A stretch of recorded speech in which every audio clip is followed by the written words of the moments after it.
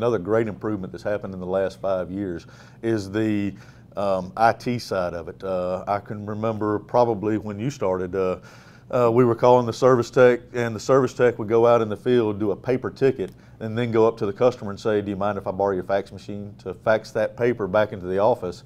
And we literally had 20 file cabinets that that paper got stored in that file cabinet. Heck, I remember having to unplug my computer so people could print. and that is true.